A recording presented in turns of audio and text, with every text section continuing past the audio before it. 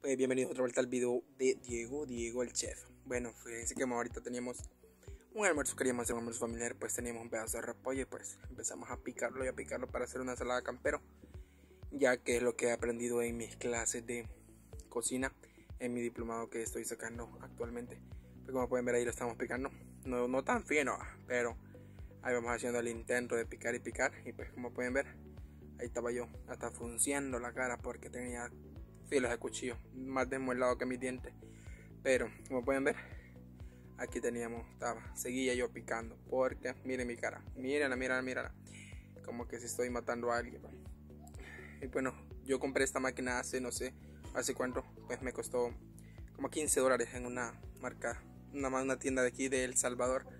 Pues estaba barata, estaba barata. Y como pueden ver ahí le estaba echando, pero no me fijé que no se, no se echaba de ver, que yo estaba pues sí, que yo estaba así, va, moliendo el, el, y pues miren, como pueden ver, ahí se echaba a ver cómo estaba quedando, excelente ricote. Bien, bueno, bueno, bueno. Ahí como pueden ver, ahorita lo pasamos a otro bol, lo pasamos al otro guacal para poder esparcirle.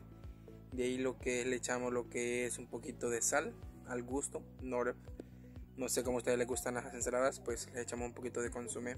Ese consomé por lo natural lo usamos todos en la familia y pues como pueden ver ahí estaba. Se me olvidaba decirles que me faltaba la cebolla. Y pues como pueden ver ahí le echamos cebolla zanahoria. Y pues estaba bien. De ahí tenemos que exprimirlo para que el repollo exprímalo ahí ve. Exprímalo como exprime usted a su marido señora para comprar la, la Louis Vuitton. Porque ustedes le sacan bulto de dinero a sus maridos. Pues de ahí como pueden ver le echamos la mayonesa. Yo en este caso le eché una mayonesa y media pero allá es opción de quien, porque hay gente que le gusta con poca mayonesa. Y pues no critiquen el brazo, me lo he lavado más, más de veces con jabón porque me he enseñado tácticas para lavarme las manos. Y como somos de campo no tenemos asco, gente, hay que comer lo que hay, dice mi mamá. Pues como pueden ver, ahí se echan, sabe, mmm,